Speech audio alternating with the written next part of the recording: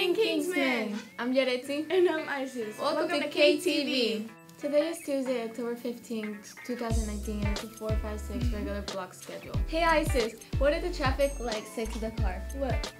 Don't look at me, I'm about to change. and now everyone, let's check out our weather report for today. Good morning everybody, this is Bella. And I'm Irasun. And this is your KTV weather report for today. Today will be sunny with a high of 79 and a low of 58. The wind speed will be 10 miles per hour and the humidity will be 61%. Be sure to stay cool and enjoy your day, Kingsmen. That's all for today, Kingsmen. Now back to the studio. Alright everyone, today for lunch we're having Cheese carnitas nachos, Domino's Cheezilla pizza, chicken Caesar salad with Hawaiian roll, spicy chicken sandwich, fresh fruit bowl, assorted fruit cups, green beans, baby carrots. Enjoy, Enjoy your your lunch, lunch, everybody. everybody. The OneSight program for free classes is coming up November 6th at 8 a.m. at Los Mountains Park. Parents must take their students to this event and return them to school. Please see the school nurse to register by October 31st. Hey guys, just a reminder, today's food distribution, October 15th.